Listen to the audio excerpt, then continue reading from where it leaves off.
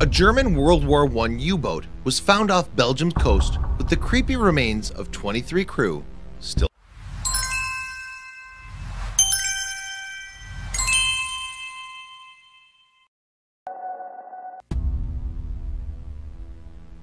During World War I, German submarines, or U-boats, waged a highly destructive campaign against British shipping.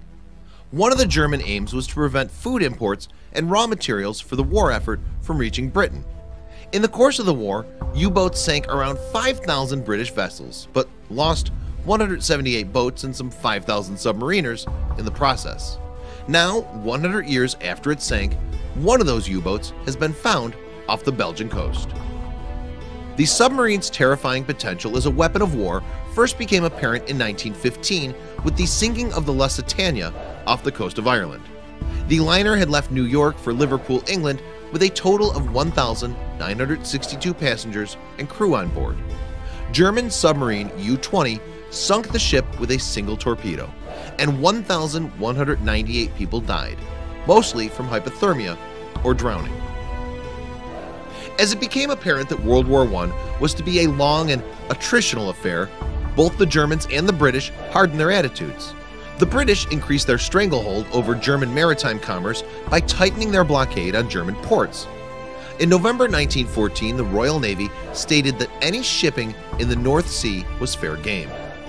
The British also said that they would regard any ship transporting food to Germany as a legitimate target this infuriated the Germans who felt that the British were trying to starve Germany's civilian population. Because the German Navy was weaker than its British counterpart, the Germans saw the U-boat as their best way forward. The Germans made their own declaration in February 1915. They stated that any vessels in the seas around Britain were at risk of being destroyed. In response, the Royal Navy devised tactics designed to limit the damage that U-boat attacks would pose ships were told to either flee away from or to try to ram submarines. The Germans had been increasingly alarmed by the anger of the Americans who had lost 128 of their citizens in the Lusitania sinking. They were anxious not to provoke the neutral US into joining the war on the British side. So the submarine war was largely abandoned in the North Sea and the Atlantic. However, operations continued in the Mediterranean and other seas. But as World War I rumbled on, the Germans again turned to the idea of an all-out submarine war. In fact, their efforts earlier in the war had done little to hamper British shipping. They sank only a tiny percentage of the merchant fleet. But now a German admiral thought he had an effective plan. Admiral Henning von Holtzendorff believed that a telling blow could be struck against the British if the U-boats could sink 600,000 tons of merchant shipping each month. He based this notion on the work of Dr. Richard Fuss. He had claimed that destroying shipping in such numbers would bring the British to their knees within six months.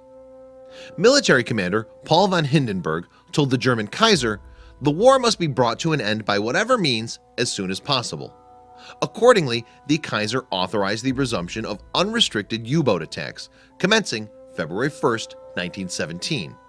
At first, this new hostility on the high seas was a German triumph, in the opening months of the campaign, the 600,000-ton target was gotten close to or exceeded. In May 1917, the British introduced a convoy system in a bid to thwart the attacks. These convoys, which consisted of groups of merchantmen being escorted by Royal Navy ships, immediately reduced losses. The system also had the effects of increasing losses to the U-boats since they were more likely to come across well-armed Royal Navy vessels.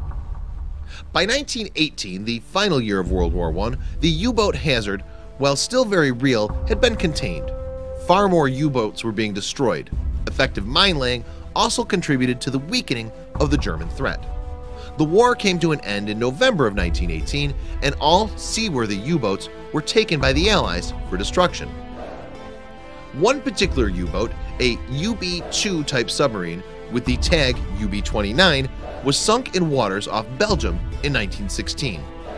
It was attacked by the Royal Navy ship HMS Landrail in December, but mystery has surrounded the whereabouts of the wreck of this U-boat and the fate of its crew for more than a century.